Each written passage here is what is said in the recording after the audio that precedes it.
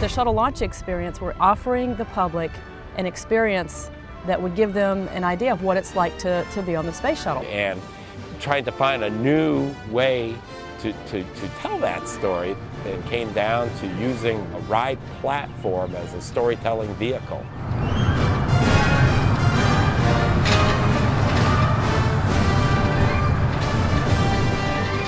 Amazing. Great. It was awesome. It's fantastic. I'm flabbergasted. Everybody just has to come see it for themselves.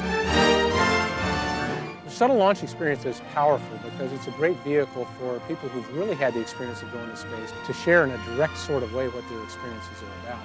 I think the guests here at the visitor complex really appreciate having the opportunity to see a space shuttle flight. They can actually feel what it's like in, in the pre-show. One, and liftoff. And then the experience itself, the noise and the vibration, just very emotional, visceral kind of experience. We had astronauts involved from the very beginning with shuttle launch experience, and they really helped us keep it absolutely real.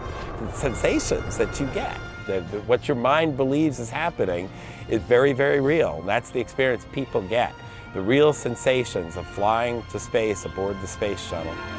You went up like 90 degrees. You pushed back in your seat. It vibrated, it made loud noises. What I really liked about it was seeing the Earth from space. It made it feel like you were actually on the shuttle. It was really cool. We've worked on several occasions before with BRC, and Shuttle Launch Experience is a BRC masterpiece. There's no doubt about it.